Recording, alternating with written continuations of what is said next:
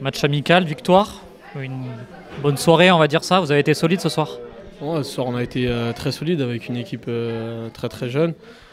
On avait euh, à cœur de, de- de- de bien réagir parce que c'était surtout une séance de travail. Je pense qu'aujourd'hui, on a mis tous les ingrédients pour, pour que ça se passe bien.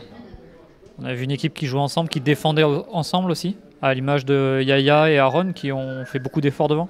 Ouais, ils ont fait énormément d'efforts défensifs. Ça a été eux nos, nos premiers défenseurs et c'est eux qui nous, a, ils nous ont vraiment mis dans, dans le match et on était vraiment très très solides. Solide derrière aussi. Toi, avec le brassard, tu as, essayé de guider un peu les autres ou pas? Ouais, c'est sûr. Bah, après, euh, il y, a, il y a énormément de jeunes, même si plus anciens, c'était Easy, Aya et moi, et Mauro.